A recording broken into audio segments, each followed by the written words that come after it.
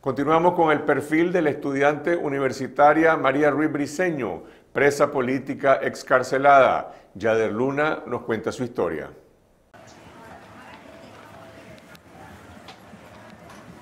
La excarcelada política María Ruiz Briceño estuvo detenida durante casi seis meses por el régimen y sufrió distintas formas de torturas. Hoy estoy celebrando mi gran salida de las cárceles de la esperanza, de donde nunca debía haber estado. La joven estudiante de dos carreras universitarias fue parte de los 91 reos de conciencia que la dictadura liberó el 30 de diciembre de 2019.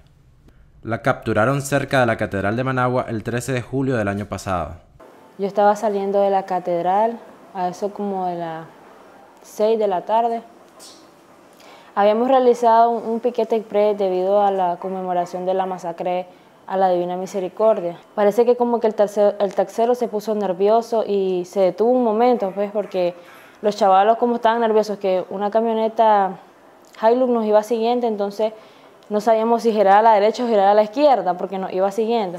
Entonces el taxero se detuvo y en eso que él se detuvo, entonces vinieron 10 patrullas y, nos rodearon. En eso a mí me golpearon, me, me voltearon el brazo para, para la espalda, me dijeron de que o sea, me decían, ¿quién es el líder? ¿Quién es el que organiza estas, estos piquetes? Dice. Entonces, en eso que me suben a, la, me suben a mí y a mis otros compañeros que estaban, iban conmigo a, la, a una buceta. En la buceta empezaron a ahorcar a los chavalos y a mí me, pusieron, me apuntaron con un arma y me dijeron que, que dijera que quién era el líder, que quién era el que nos financiaba. María dijo que era la organizadora del Piquete Express para que liberaran a las otras dos mujeres, que además eran menores de edad.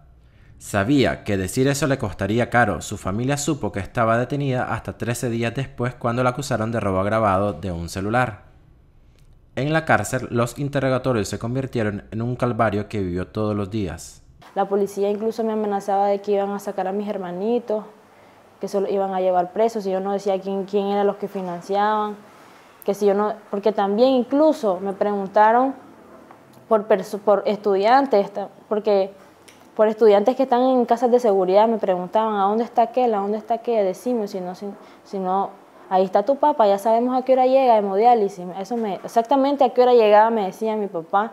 Y era cierto, a esa hora llega mi papá, ya sabemos en qué hospital está, con quiénes lo atienden, me decían todo. Y yo, obvio que yo me, que me ponía mal porque yo decía, como que lleguen a mi papá y lo lleguen a hacer algo. Y no podía soportar esa presión en mi mente porque yo decía, y, y y todo, o sea, por hacer lo correcto me voy a llevar a mi familia en el saco, decía yo en mi mente.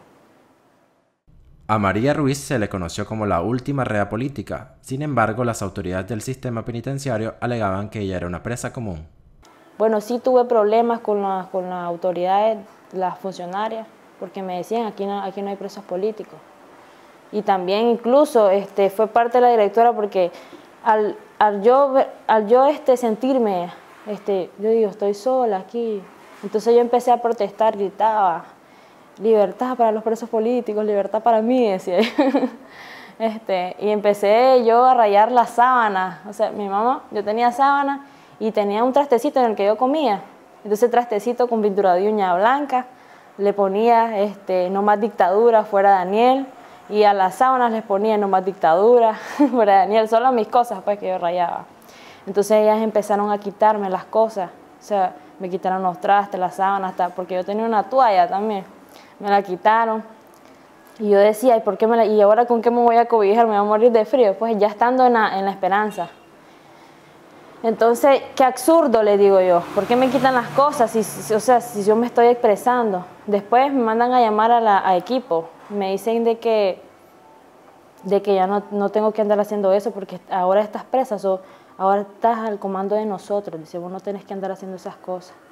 Pero si es lo que yo siento y me estoy expresando y además no le hago daño a nadie, son mis cosas personales. ¿Y a dónde, dígame, a dónde dice en la ley que yo no puedo rayar mis cosas personales?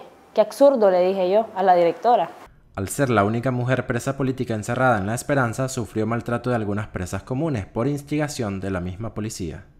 De hecho, cuando yo llegué, entonces me decían, aquí no queremos presas políticas y me, así una mujer me empujó, aquí, yo, yo salía a Patio Sol, pues, y yo ahí solita, y me empujó así, no queremos plazas presas políticas, y me empujó duro, y yo le dije, como yo no soy este, violenta, entonces yo le dije, ¿qué, le pasa a usted? Porque era una señora, ¿qué le pasa si yo no le he hecho nada? No, es que no queremos a ningún preso político, entonces yo le contesté. Entonces dígale a su comandante que me venga a sacarle. y empezaron así a, a, llamar a las otras presas comunes, a decirles de que yo decía cosas de ellas para que ellas después me golpearan.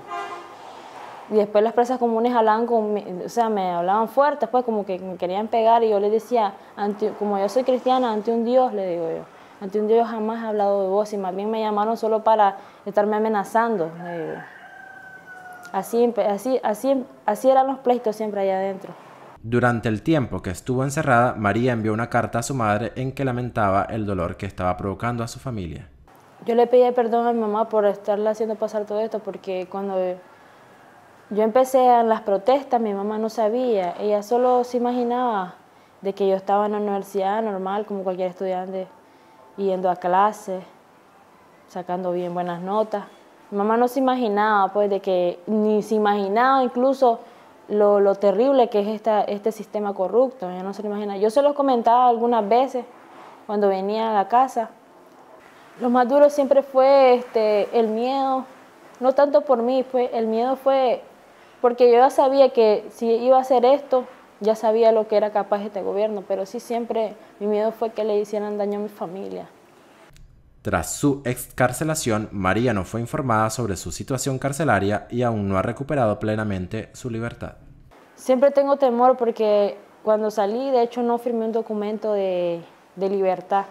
No tengo un documento que diga que soy libre del sistema No sé si voy a llevar un proceso judicial mi miedo es que de pronto pues a esta gente se les meta el diablo y me vengan a sacar de la casa, a mí y a todos. ¡Viva Nicaragua libre! Ese es el reclamo de libertad plena de María Ruiz Briceño, quien como centenares de presos políticos excarcelados aún no recupera plenamente su libertad. Gracias por ver este video. Los invito a compartir nuestro contenido en las redes sociales y a suscribirse a nuestro canal para apoyar el periodismo independiente en Nicaragua.